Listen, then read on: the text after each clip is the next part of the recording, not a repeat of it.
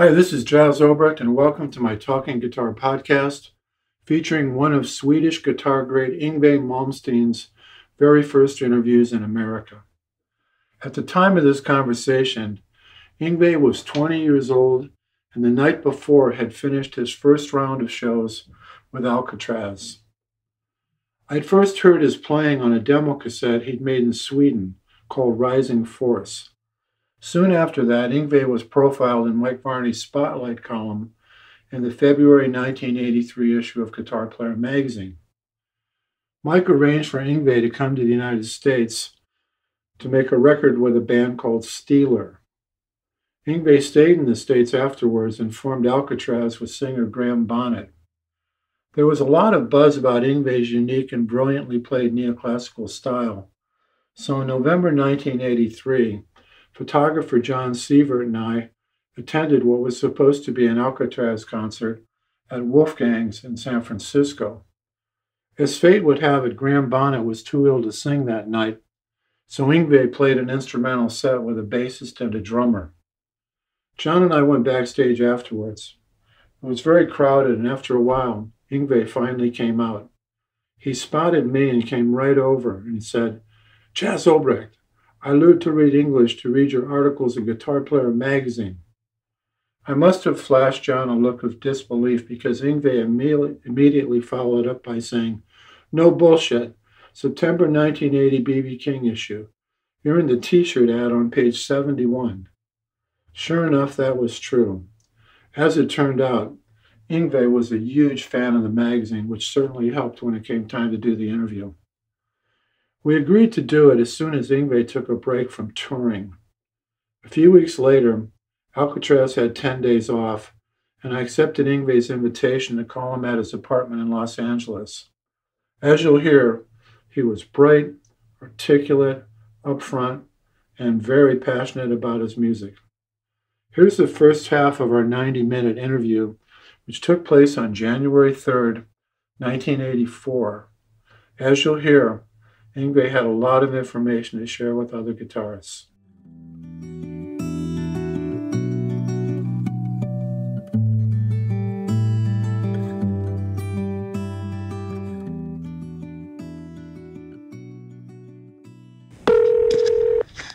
Hello. Hi. Hi.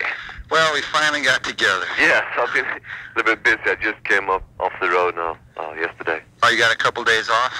Yeah, well, yeah, I got like 10 days off. Oh, that's great. Yeah. Well, the photos came out well. The live photos? Yeah, Oh, really? That's interesting. so that's good. Well, I was really impressed by uh, the Alcatrazz album and by your show. Well, thank you. You've really come a long ways. Yeah, it's, uh, well, it is what it is. Do you know, do you have a good idea what you're doing in musical terms? Yeah, oh, yeah. Uh, what's the extent of your musical education or knowledge? Uh, it's, uh, basically pretty much limited as far as reading goes. I'm not very good at reading, but I know, uh, most of the theory, basically everything, actually. Uh, as far as theory goes, you know, what, what's, what keys are related or what scales, you know, Could all you, that stuff. could you describe the uh, scales you most frequently use? I use a lot of harmonic minor, Uh-huh. uh, and also diminished and uh, Phrygian. Oh, yeah? That's what I use most of the time. Well, we may as well get to the beginning. When did you first start playing? Uh, when I was around seven or eight years old, started playing guitar. What's your birthday? Uh, June 30th, What year? 1963. Young guy. Yeah.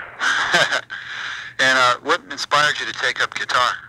Um, it's kind of a long story because my mother, I'm the youngest child in the family. My mother kept on giving me instruments uh, all the time because she wanted me to play because my brother and my sister started playing with it, you know, when they were like three or four years old. And she kept on giving me trumpets and guitars and stuff.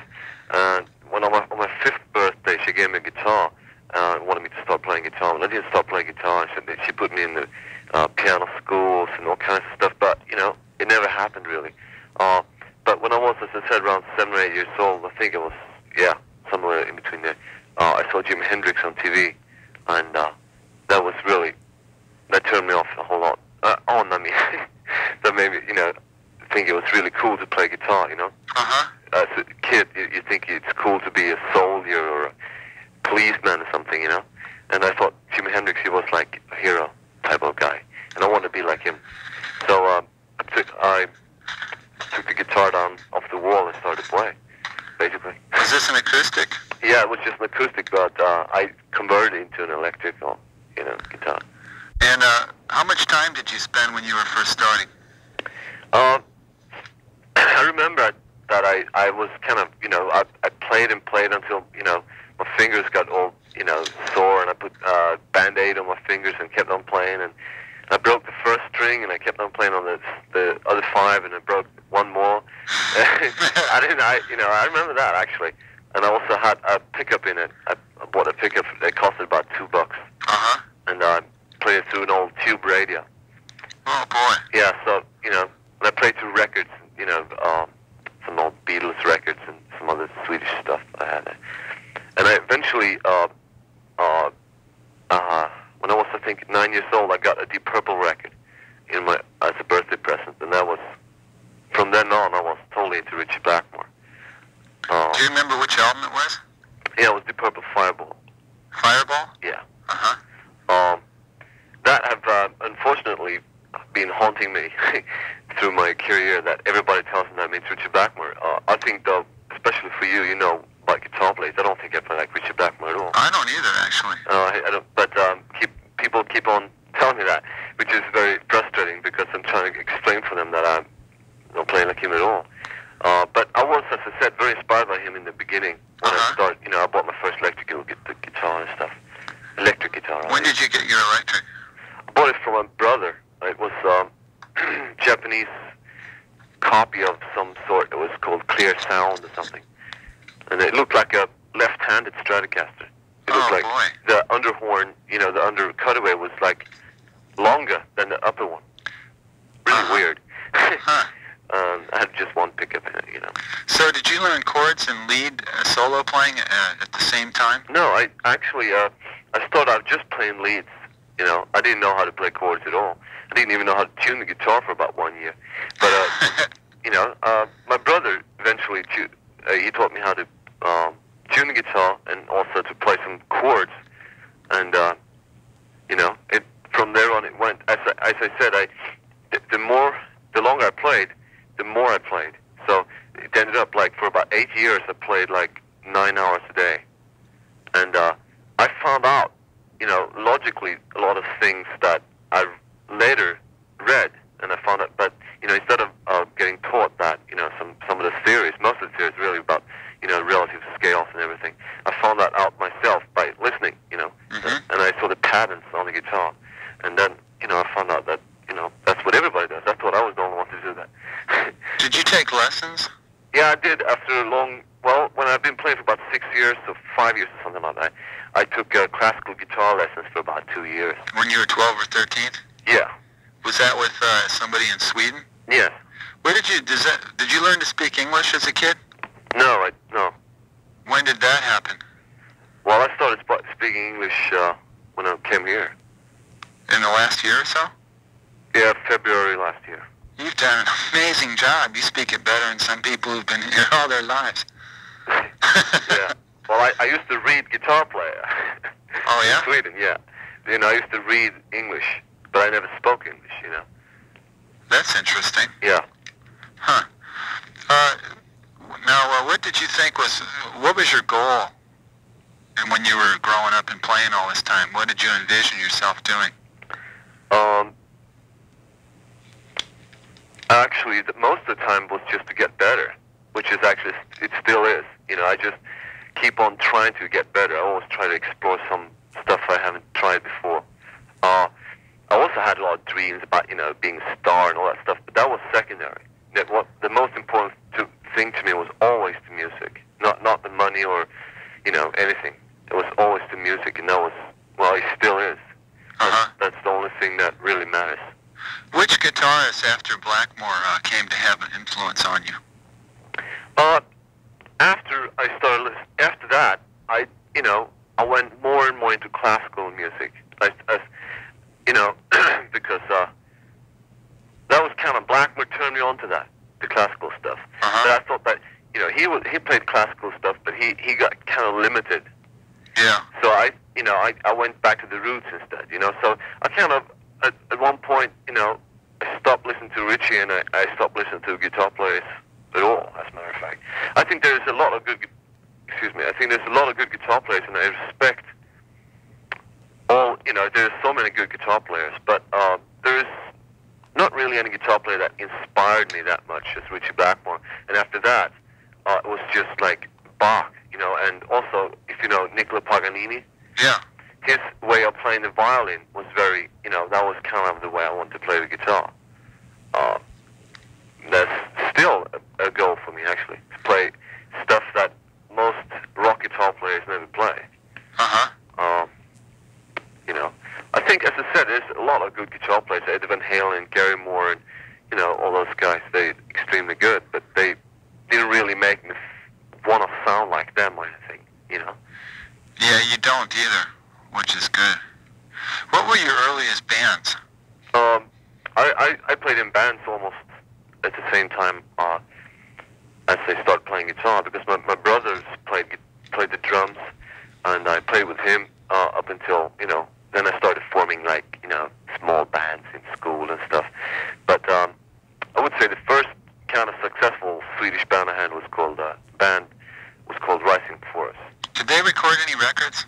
No, Uh, that's the one where, that Varney uh, wrote about you being in.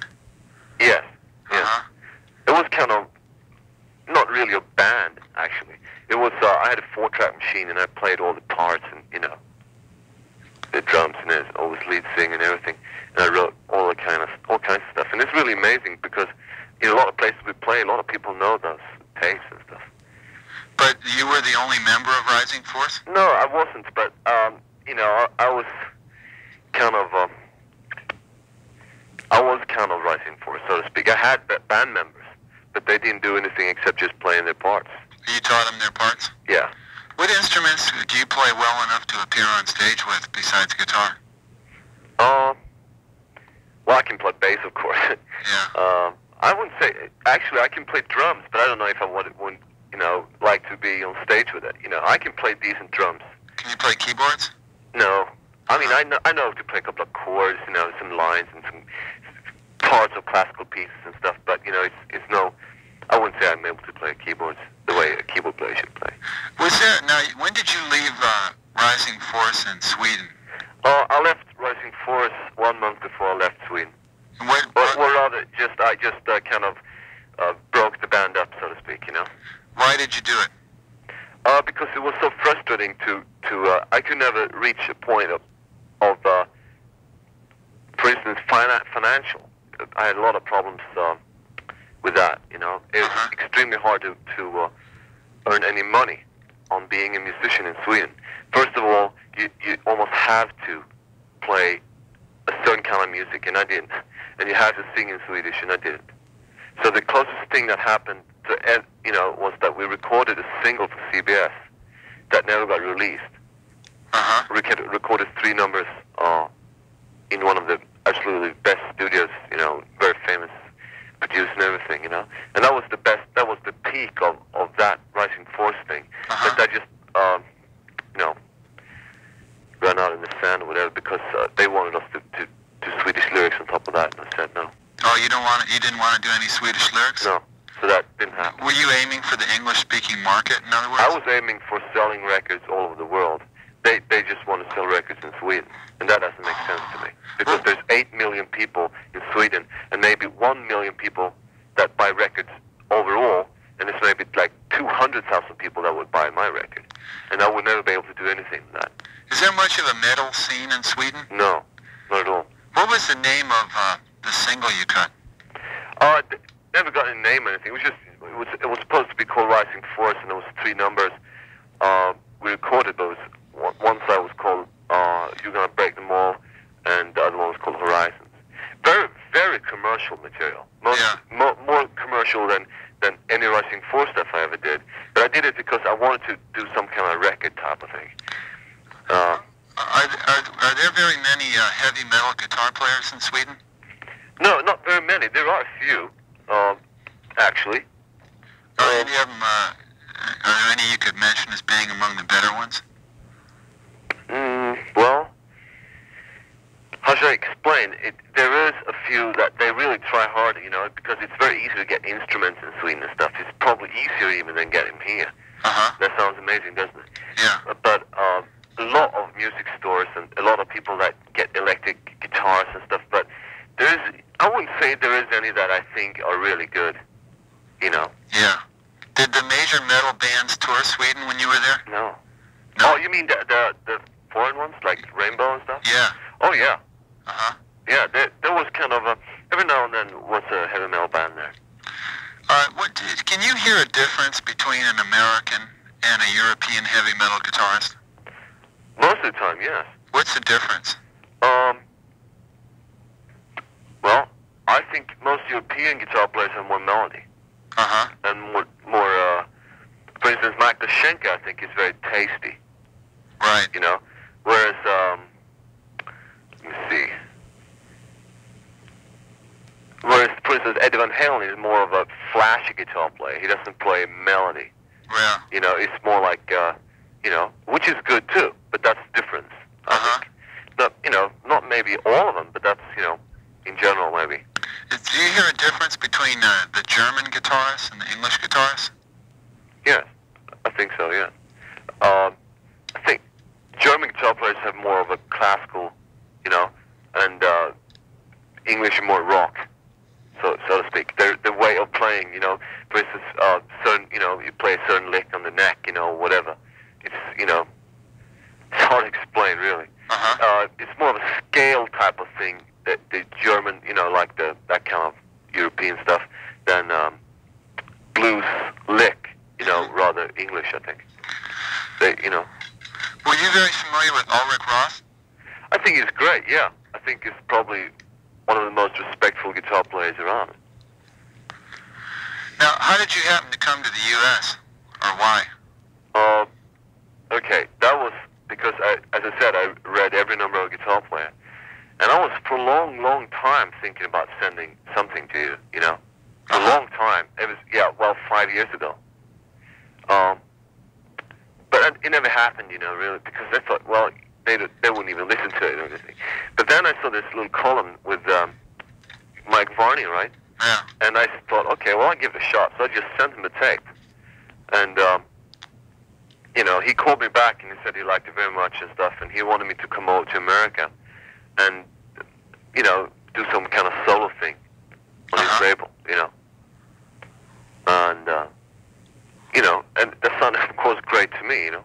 Yeah. Um, but um, eventually, it, it took so long for me to get all the this um, the visas and all that stuff together that um, when it was time to me to leave, I already had like a lot of offers, you know, from other places Yeah. and a lot of letters from Hawaii. I even got an offer from band in Hawaii.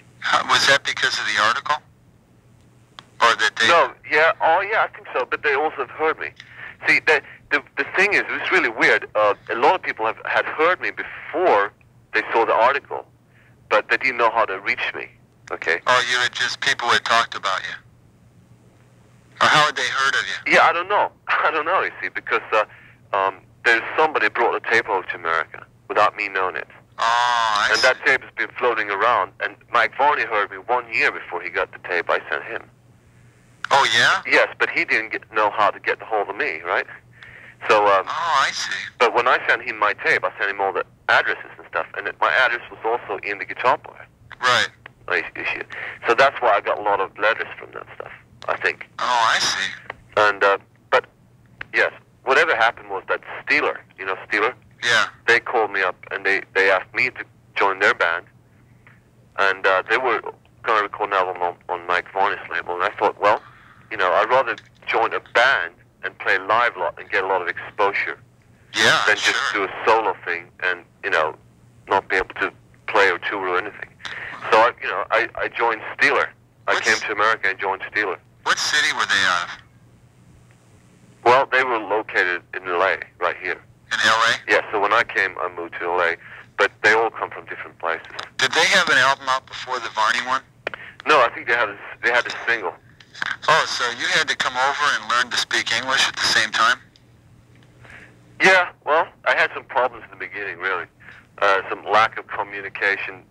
Uh, for instance, people thought that I meant something I didn't mean, and you know, I had a lot of fights and stuff for that. You know, people got mad at me, but you know, I I kind of knew how to speak English, you know, but um, still though, it's really hard to adapt to another language because all the words come in different order.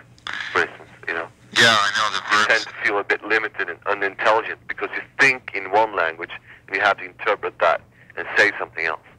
Do you still think in Swedish? No, I, well, uh, both. I, you know, most of the time when I speak English, I think in English. Oh, I see. How much time did you spend with Steeler before the album was recorded? I think something like two months. What did you um, contribute as far as writing and arranging?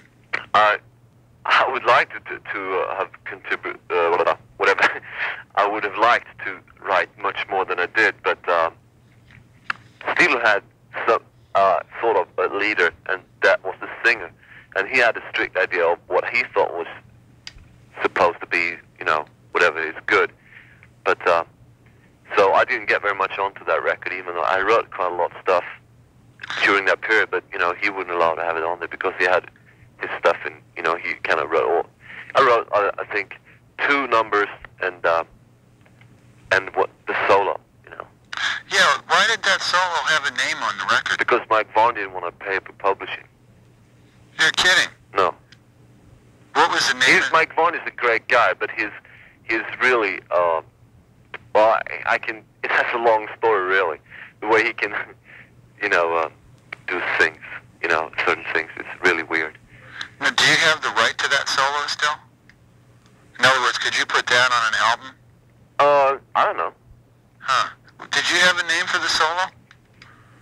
I would. I want. I wanted to call it Rising Force, but uh, you know, It's funny they don't even mention it on the on the album anywhere. It's, it's probably the best track. yeah. Well, I see. I don't. I was never very much into Steeler. You know, I, I never liked the band or anything. Yeah. So uh, I didn't really care. By the time that album was released, I was out of the band. I left the band already. Oh, I see. Now, on that album, did you have a free hand with the solos? Oh yeah. Oh, Uh-huh. Did you play the steel string guitar too? Yeah. And did you have any favorite tracks on that? Oh, I think No Way Out and Abduction and uh, Serenade. And then my solo, of course, I like. I think I like my solo better than anything else on that record. Was but that, uh, was that a solo you used to do in concert in Sweden? yeah, sort of. No, actually not. I never used to do solos on stage in Sweden. No? No, I do now, but I never used to do it in Sweden. It's kind of a new thing for me, you know. Oh, boy, it must be fun, huh? Yeah. What was the equipment you used on that album? I used two Marshall heads, and uh, I think I used only four Stratocasters. Four? Yeah. Normally I use more than that, but you know. Huh. Did you ultimately find the band was too limiting? Oh yes, very much so. Yeah. Okay. They did. They, uh, you know, intentionally they worked against melody. What do you mean? They they worked against being melodic in the band, and that's that's to me that's the total opposite of what you're supposed to do. To me, music is melody, right? Uh-huh. I, and uh, you know, I write melodic stuff, and you know, I was trying to write some stuff for them, but they, you know, they they they wanted to play like really, you know, limited, you know, no melody bullshit, you know, Yeah. and that it didn't work. You know, I was from the kind of day one, I didn't want to be in band, but I didn't have very much of a choice really. I mean, came from Sweden, I didn't know anybody, didn't have any money, anything, didn't have anywhere to live. You know, I just had to do what I had to do. Yeah. So how long in total did you spend with Steeler? I think three months. Oh, really? Yeah. That's not very long at all. So you cut the album. Did it take long to record the album? Pardon? Did it take long to record the album? I recorded all my parts in one day. For the whole album? Yeah. Jesus. That's amazing. Yeah, but you know, it's it's simple stuff. You know, Yeah. Now, really what, simple. What happened uh, after you you quit that band, Steeler? Um, from as I said from day one, I was not very much interested in the band, but so uh, I started to look at, for something else, and um, I, I got kind of, you know, a few offers and stuff. And as a matter of fact, the last concert I ever did with Steeler, Phil Mogg was there. You know, Phil Mogg from UFO. Yeah, sure. And, uh, you know, he wasn't in the, con- the concert, and I spoke to him, you know, backstage after the show, and we had, you know, we decided that we, we were going to get together and try to work something out, you know, because, you know, he needed a guitar player, just left UFO, and blah, blah, blah, you know. And uh, it sounded great to me, you know, have a more of a major gig kind of thing. Uh, you know, But what happened? so the next day, well, you know, after that gig, where I was, you know, the next day, which was supposed to be the day I was going to speak to Tim Long, I was sleeping uh, a friend's house, you know, staying at a friend's house, and uh, uh, he woke me up. My friend woke me up. You know, he came into my room and said, you know, uh, Graham Bonnet's manager on the phone. And I go, what? Graham Bonnet? You know, what are you talking about? You know, because I was into the Phil Mogg thing. And I, I, you know, just out of the blue, like Phil Graham Bonnet's manager's calling me. Uh huh. So whatever happened was, I, you know, I spoke to this manager, and um, he said that uh, he wanted me to be down at the rehearsal place in one hour. And okay, well, it was, you know, so I went down to that place and I played with them for about, you know, whatever, two, three hours. Uh huh. And they, they wanted me to join the band, and I also wanted to join the band. I thought it was great. But I had in my back head that I wanted to check the Phil Mogg thing out, too. So I told them that, okay, I'll tell you, like, 11 o'clock tonight, I'll tell you. So I had to go. Then I went to Phil Mogg's house. Hmm I was sitting there and, you know, having a few beers and hamburgers and stuff. You know, it was like in one day I had to choose, you know, between those two guys. And, you know, I think I did the right thing because uh, Phil Mogg is, more of a laid back kind of guy, you know. And, know, I'm really, you know, a workaholic kind of thing. Yeah. You know, I, I want to play, you know, and rehearse and write all the time, you know. But he's more like a, a party kind of guy Yeah. you know. And also that uh, when I joined Alcatrazz, they didn't have one song. No, they had. Was this their first album? The one you're on? Oh yeah, they didn't have a name even. You know, the, the lineup on it wasn't even. Were you familiar with Graham Bonnet? Oh yeah, You knew about his work with Rainbow and with uh, Mike Schenker. Schenker. Oh yeah. Yeah. Well, what happened? How did you guys put the music together for Alcatrazz? Uh, I wrote the music and he wrote the lyrics. Uh, how long did that take? How did, did, three weeks. did you I, guys? I wrote I wrote all the music in three weeks. The lyrics he kind of wrote at the same time he, he put the tracks down. oh, really? Yeah, I think at least. I don't know because uh, we didn't really work together. See, I wrote all the music and uh, most of the melody lines for the vocals and stuff, but uh, um, he wrote all the lyrics, and I don't know when or where he did it because we didn't really sit down together and do it. You know? Or you just gave him a tape?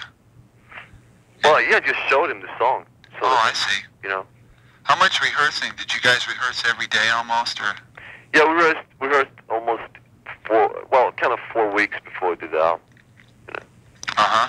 but you know, and we at the same time we're auditioning drummers. At the same time we're trying to get the band together. Amazing. You know, so it's kind of hard work. But Did you have a lot of these melodies before? some of the stuff is from Rising Force, Uh huh. but uh, most of it is totally new. It was more of a challenge for me to try to create something new. Uh huh. Yeah. But uh, for instance, Kree Nakoorie is, is basically a Rising Force tune. Was now how many was uh, Rising Force a trio? Yeah, most of the time. Sometimes it was um, five people. Sometimes it was four. Sometimes it was three. Did you have two guitarists at any time? At, at one point, I had uh, a rhythm guitar player.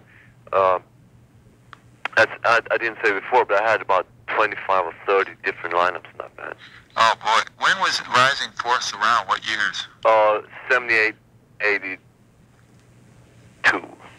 Late, I like it, December 82. Were there bands before Rising Force? That I was in? Yeah. Yeah, I had the same kind of type of thing, but it was not like, you know, same thing, you know. It was called Powerhouse. Powerhouse. Yeah, One word. yeah. Uh huh. That was kind of, When was that? That was pre '78. yeah, between 76 78. Was there any bands before then? Uh, with names and stuff? Yeah. it was just like Toy Town kind of thing, you know? Toy Town? Yeah. That was the name of it? No. But, you know, it was like that. Toy you know, Town. with kids, you know. Oh I think yeah. I think one of them one of them was called Burn. Burn, Yeah, like the name of the Deep Purple album. yeah. Uh huh. Another band I think was called Power. Were, were those bands cover bands, or have you always been into the original side of things? Um, we were mostly original, but we also played uh, Deep Purple stuff, and Ah.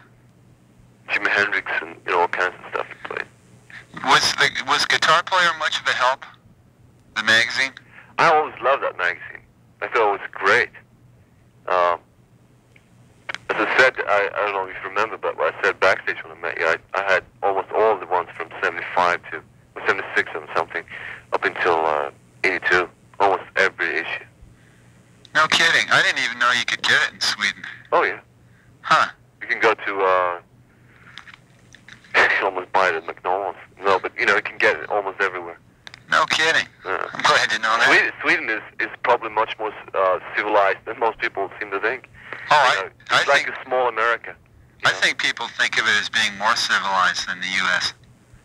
because uh, there's little crime and the people seem mellower and better standard of living. Yeah. I've Well, always thought that. yeah. Well, actually, there, there's yeah, it's kind of right. Honest in the band. Oh yeah. I don't like to play without guitar players. Uh, now, uh, were you happy with the way the album came out, Alcatrazz? Yeah, most of it. Yeah, most of it is, uh, I think, very good. What is what What were your favorite tracks? Uh, Too Young to Die, Too Drunk to Live. That's Uh-huh. one of my favorite ones. And of course, Kree Nakoorie. When I wrote um, a song called Bigfoot, when I wrote that one, that was one of my absolute favorite songs. But um, the way it turned out on the album, you know, the production, you know, some of the production is, is not what I want it to be. Yeah. You know, it's kind of too light, too Huh. much keyboards. Don't print that. Oh, I understand what you're saying. It's kind of. I think your band could do could go without keyboards if you had to. I do too, actually. Um, Yeah. It's kind of an overdone thing, really. Yeah, you don't need that texture that much, you know. There's a couple of spots where it's cool, but It fills out some spots, you know. But yeah, uh, at the same time, if it's too much, it it uh, it loses the effect. Yeah, I think a keyboard player in the kind of band we are shouldn't play all the time. yeah. You know It should, yeah, it should be the way. Um, yeah, it should just be a texture once in a while. Yeah. You shouldn't print that either because my keyboard player is gonna kill me. But, I won't. know. How did you record that album? Which tracks did you? What part did you lay down first? On the Alcatrazz. Yeah. Uh, most of the time, I just put down the, the rhythms first. Sometimes I put, put down the leads and the rhythms same time. You know, like live kind of thing. Did the bass and drums play at the same time, or did you do each? Yeah, that's the interesting thing. Uh, the way we played, we recorded. I used, you know, like a Rockman amp. Yeah. The whole band recorded the whole album like that live. Okay. Explain. Yeah, everybody sat down in the studio, and the drums were playing, and the bass went into the board, and the keyboard went into the board, and I went into the, into the board with the Rockman, and that in that you know fashion, we recorded the whole album like that, um, all the tracks, like the drum tracks, basically, and then we redid everything except the drums. We redid the guitar. We took the Rockman track out. We took the keyboard track out, you know, and some of the bass parts I think we redid also. Is that Rockman you're talking about the uh, little like uh, effects thing? Yeah, The Tom Scholz Rockman? yeah, Oh, and then you took that out and re-recorded the parts with amps? With Marshalls, yeah. Oh, what was your setup? Used uh, two Marshall heads four cabinets in the studio. The 100 watt heads? No, 50s. 50s? Yeah, all 50 watt heads. Do you use uh, effects devices? Oh, yeah, as a matter of fact, I do I use a Roland Echo unit, Uh-huh. and which is, you know, the cheaper. I think that you can't buy them anymore. It's called DC-10. Oh, sure. It's really cheap, you know, but uh, it, it sounds pretty good. I've been using that for years and years. And I also used um,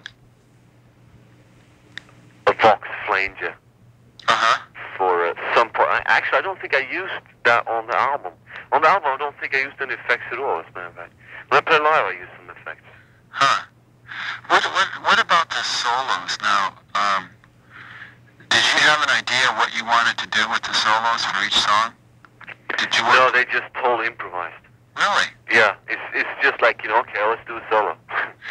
you know, it's all first take, improvised. You know, everything. No kidding. No, Did you do any splicing? no. No kidding. That's amazing. No, it's not. It's, it's kind of live, you know. It's it's really live. You play very emotionally. How do you psych yourself up in the studio? Um, you know, I just play along with the track, so to speak, you know. And then by the time I come up to the solo, it's like I'm psyched up enough, you know. You what? Yeah, oh yeah. But I didn't hear the last part. Pardon? I didn't hear what you said. Oh, I said that when I play along with the track in the studio, Uh huh. by the time I get to the solo part, you know, I, you know, I'm kind of, I like it, you know, how should I say? It's exciting enough for, you know, putting enough feeling into it, you know. It's, you know, I think feeling is the most important, uh, it, at least for me, since I'm improvising all the time. If I don't, you know, have a good feeling, I, I wouldn't be able to pull off good solo. What's your philosophy of soloing? What do you think a solo should do? Um, I think it should be interesting. Uh huh. I think it should be. It depends on the song, really. If if it's uh, sometimes it should be flashy. Sometimes it should be, you know, um, even of course, yes. it's hard to say, but even though it's flashy, it should never l- lose the the melodic touch. You know, it should always be melodic. You know, that's I think. Okay, that's it. That's it. That's the answer. We'll look for in the solo. It should always be melodic. Doesn't matter if it's fast or slow. Doesn't matter. hmm It has to be melodic. Do you ever? Uh, what's your um? When you're gonna take a solo, how do you construct it? Do you uh, think in terms of scales or in terms of the chords, or don't you think at all, or what happens? When I play, I don't think, but uh, I have it kind of. I think subconscious in my subconscious, I know what I'm doing. Um, you know, I, I wouldn't play in D minor if if the song is in C minor. You know, Yeah. you know what I mean? It's like I know what I'm doing on the neck, but I don't really think about it. Yeah. It's like a second nature thing. You know. Uh huh. So um, Can you play everything you imagine? I don't think so. No. No. Uh, that's probably one. That's my goal. You know, to be able to play anything. But of course, that you know, we'll probably never reach that point. But you know, you know, if you work on it, you, you will get closer to it. You know what I mean? You know, I, I, for instance, I don't want to be technically limited. Uh, you know, I don't want to, you know, feel that I am not able to do a special, you know, a certain thing, even though I, I, I'm not able to do everything. Of course, nobody is. Um, you know, there's a lot of things I can't do, but I want to feel that I'm still working on it. You know. Can you, do, you, Yeah. do you play in any guitar styles that aren't on the albums? Uh, I can play blues. yeah. No, but really, um, uh, I don't know anything about jazz. If that's what you want to know. yeah. Play jazz at all. hmm Uh, Can you give um, offer uh, players any advice on how to escape repetitious soloing patterns? Um, well, you know, there's a lot of things you can do. First of all, uh, you should know all the scales. You shouldn't only know a lick. Let's hear the scales you're talking about. Well, it depends on the chord progression or the song. Uh huh. You know, um, you should always be able to relate to the, what is happening in the actual song, in the rhythm section. If there is, um, you know, as a, for instance, I hear a lot of guitar players, they're just playing licks all the time, you know. I'll try to explain. If you bend, for instance, the G string and you hold the, the forefinger on the, the, the B and the E, okay, and, you know, and you, how should I explain? Get the Chuck Berry lick? Yeah, yeah, but kind of a little bit more developed than that. But still, though, uh, if you play, for instance, B, you play in the seventh fret area. Right. You know what I mean? That's That's the way most guys do it. yeah. Whereas if I play in B, I play all over the neck. Doesn't matter which key I'm playing in. I'm still playing all over the neck. Uh huh. You know, I'm playing different positions and different patterns, but it's still, uh, you know. First of all, I don't want to bore myself. You know, when I play, and if I bore somebody else, then it's, it's really serious. And say, say say there's a guy who knows a lot of licks, but he doesn't know the first thing about music. What would you suggest should be the, the things he ought to start reading about and learning about? It depends on what kind of, you know, what they're looking for. Uh, me personally, I'm into the classical thing totally. You know, I know that if you listen to a lot of classical stuff, you don't really have to know what's going on. If you just listen to it and try to relate to it and try to adapt that extremely logic, logical or whatever, uh, way of uh, building the music up, okay, and try to adapt it into your guitar playing or your songwriting, I think that's one of the best things you can do. That's what I've been doing. Uh-huh. You know, it's like classical is everything for me. Not every, all, not all kinds of classical music. It's, basically baroque, you know. Because Uh-huh. I think a lot of other classical music it tends to get, you know, out of hand. I like uh, Bach is my god, you know, Uh-huh. and that's the only thing I have to go after, you know. And if I want, you know, to suggest something, I think classical, you know, who who's, you know, which classical composer is up to everybody. But for me, it's Bach. But I think though classical is that was the the peak of the the, the musical history of man. You know, the music have, hasn't developed since classical music kind of stopped being created. You know, Which Bach are you talking about? all all everything that he ever wrote. Johann Sebastian? Oh yes, John Sebastian, of course. Okay, because there's a couple other ones too, right? Yeah, he's got a couple of sons, I think. Yeah. It's funny, Randy Rhoads was into the same thing. Bach and Pachelbel. Paco Bell, Pachelbel. who's that? He was another Baroque composer, a little bit more obscure. It's P-A-C-H-E-B-E-L. Oh, I never heard of. Well, yeah. That's interesting. As far as extreme guitar playing, though, if you just don't want to get that extremely nice, beautiful melody thing, from, I say, uh, you know, I get from Bach, but if you just want to have extreme guitar playing, and you know, you should listen to Paganini. I mean, this guy, the 24 Caprices from Paganini. I mean, that's extreme. Whatever he does on his violin there is, is, you know, there is no guitar player in the world that can do that. Have you ever tried to copy his violin stuff on guitar? I, I kind of, I don't go and play exactly what he's playing. Right. I get the vibe from his thing, Yeah. and I kind of, you know, I hear what kind of notes he's playing and stuff, and, you know, but he's playing one instrument, I'm playing another one, so I can't play exactly the way he does. But, you know, that's definitely one of the things I'm really working on. For instance, broken chord patterns, you know.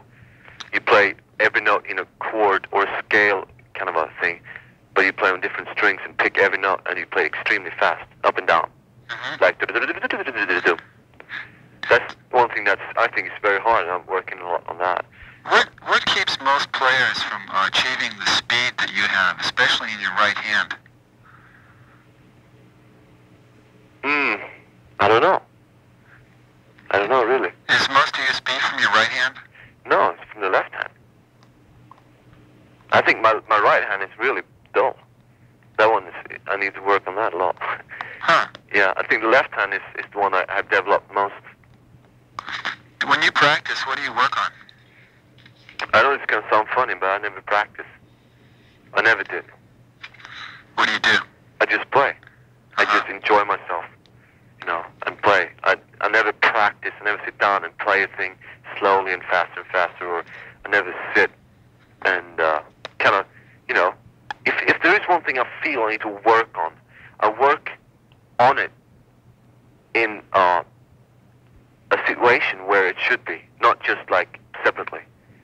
So you've never like uh, come up with a solo before you had a song to put it in? Mm, well, it depends what you mean with a solo. Uh, for instance, if you listen to um, what's it called now? Uh, Too Young to Die, Too Young to Live. What's There's, that? that's the first, I think, second or first track. Oh, right. Yeah, that's um, I play a classical kind of arpeggio type of thing. Uh-huh. Uh, it's a it's a minor broken chord thing, and that's I worked out before I wrote the song. Uh-huh. Um, you know,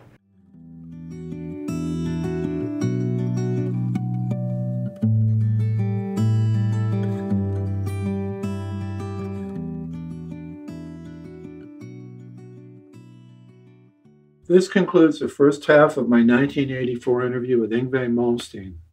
The second part is available on YouTube as well, so click on over and check it out. And if you like what you hear, send some cheer our way by clicking that donate button. I'd like to thank Nick Hunt for producing this podcast, which is copyright 2023 by Jas Obrecht, all rights reserved. Thanks for listening.